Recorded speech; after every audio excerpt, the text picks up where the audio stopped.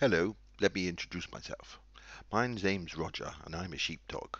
I spend a lot of time with the sheep in the field, and I have to look like this because I can't see because the hair's too long over my eyes. But I'm not really doing much today, so I just thought I'd come and introduce myself.